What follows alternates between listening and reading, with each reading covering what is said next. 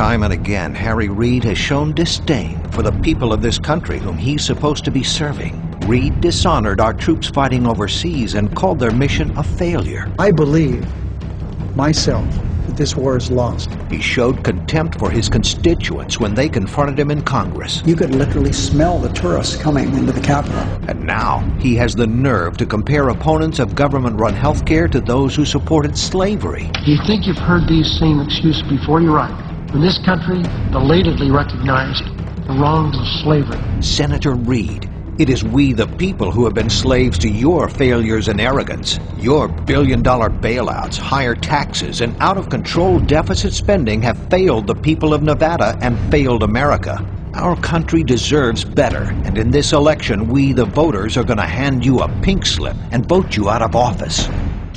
Our Country Deserves Better PAC is responsible for the content of this ad.